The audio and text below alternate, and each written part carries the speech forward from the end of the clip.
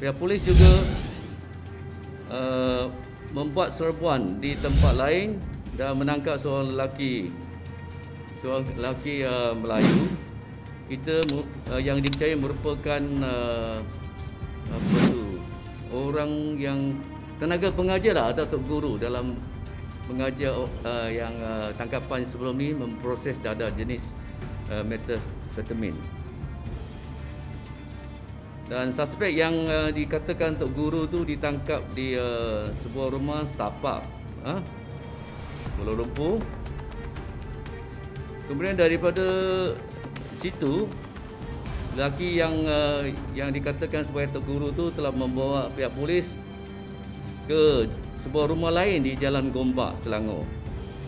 Di dalam rumah tersebut kita juga menemui bahan-bahan kimia dan uh, perkakasan yang digunakan untuk menghasilkan dada jenis metafetamin. Ha?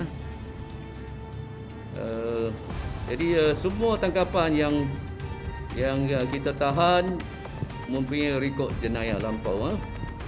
Dan mereka telah ditahan riman uh, sehingga 28 hari, hari bulan Mei. Dan siasatan uh, dijalankan di bawah Seksyen 319B eh, atau dada berbahaya 1952. Jadi keseluruhannya jumlah dada yang dirampas adalah anggaran berat 571 gram. Cannabis anggaran berat 3 gram dan anggaran nilai rampasan dada adalah ringgit Malaysia RM57,330.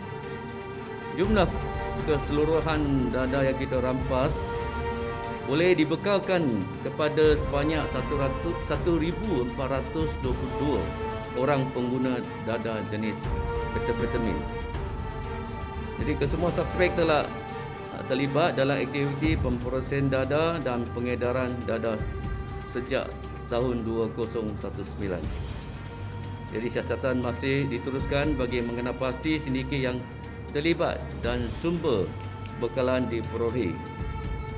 Jadi hasil dari tangkapan dan rampasan tersebut, pihak polis IPD Sentul telah berjaya menumpaskan sindiket pemprosesan dada dan pengedaran dada yang aktif di kawasan Lembah Kelang.